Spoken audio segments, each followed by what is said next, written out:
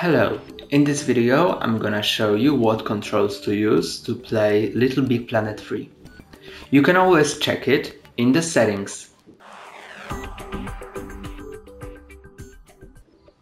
First of all, go to Options, clicking Options button on your controller, then scroll down to Settings, click on X, and scroll to the bottom and go to Controls and click on X.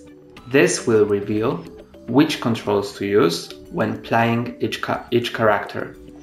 You can scroll right or left to see each character.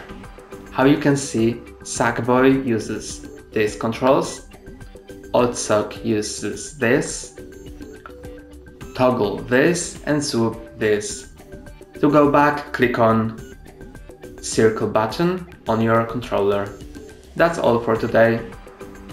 Don't forget to like and subscribe. See you next time.